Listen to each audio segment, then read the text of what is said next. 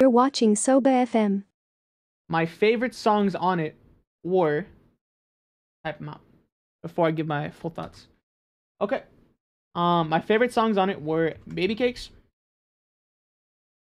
That's not Baby Cakes. Meaningless. Two hours plus. Where's plus? Uh, where the where's the plus sign? Oh, actually, there we go. And I'll give this one a few stars to show that it was my favorite song. And this last song, The Last Dance, which is so fitting, it does sound like a last dance.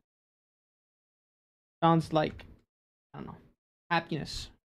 Like an ephemeral moment. Want to hold onto. All right, these are my favorite songs off the project. Baby Cakes, Meaningless, Two Hours Plus, Last Dance. Favorite being Two Hours Plus. And my as for my thoughts on it, I'm gonna give it 9.5 out of 10.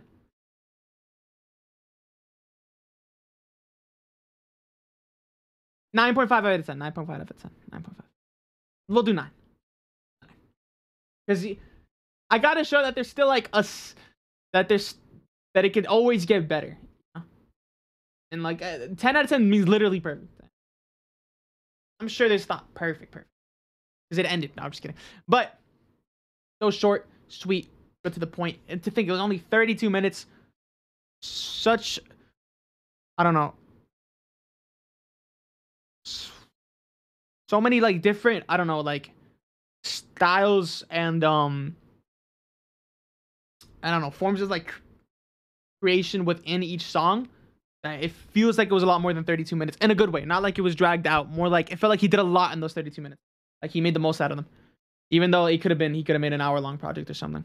But I think about it, I think it's called non perishable.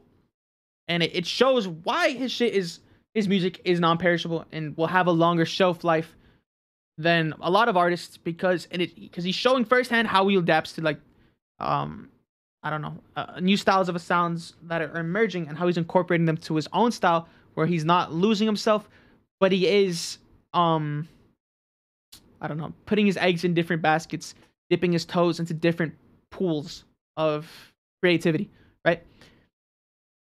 He has a lot of creative, um, a lot of creative, like little details that add a lot in the mix. And it brings out the best of his like his creative vision through like infectious melodies and just I don't know, like the the right note at the right time, if that makes sense. Where it just feels like he's doing. Oh, wait, let me put at a time. And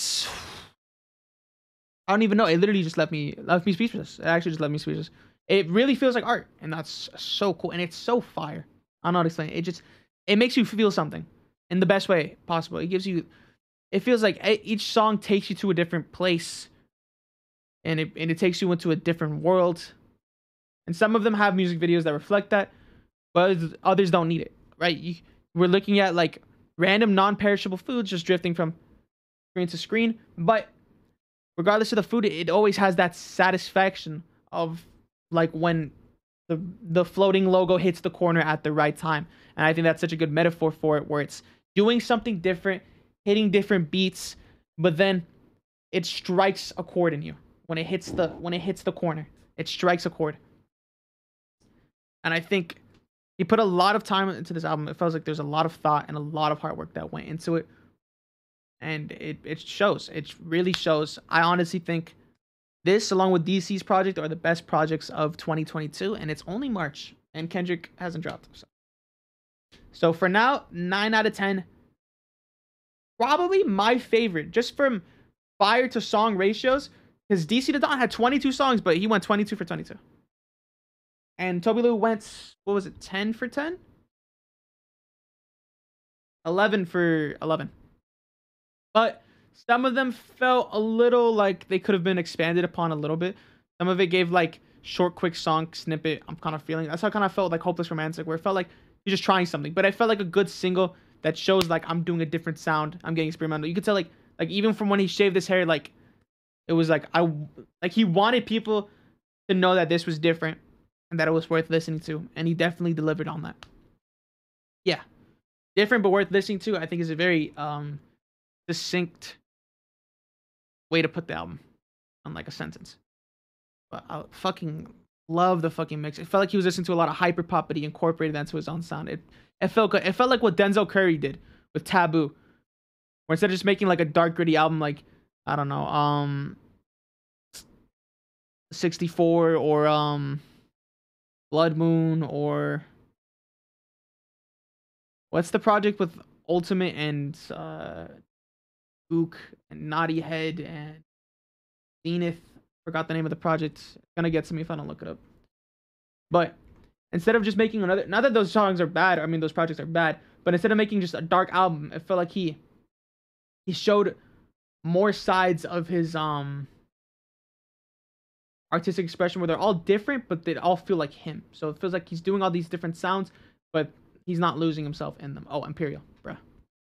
But yeah, I don't know. It felt like Tobi Lou did something similar in his own way, where it's I don't know, hitting, hitting a bunch of different beats at once, but they're all him.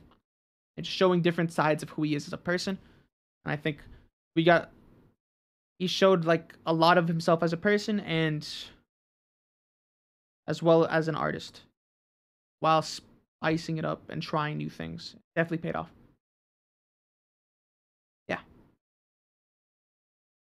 I'm just I was oof. I was just letting, you know, the words come out.